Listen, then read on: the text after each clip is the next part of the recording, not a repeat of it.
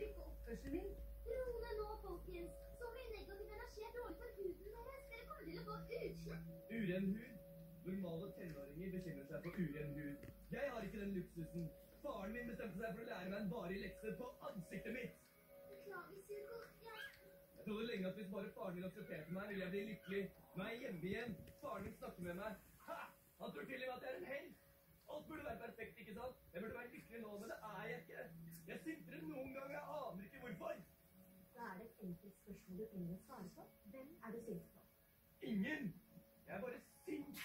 Ja, hvem er du sint på, Suki? Alle. Jeg vet ikke. Er det par? Nei, nei. Onkelen Nei. Nei, nei, nei. Hvem er det da? Hvem er du sint på? Svar på spørsmålet, Suko. Snakk til oss. Kom igjen, svar på spørsmålet igjen, da. Svar. Jeg er sint på meg selv.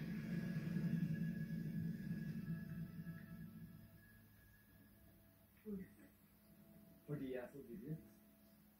Fordi jeg er ikke sikker på om jeg vet forskjellen mellom rett og galt lenger. Er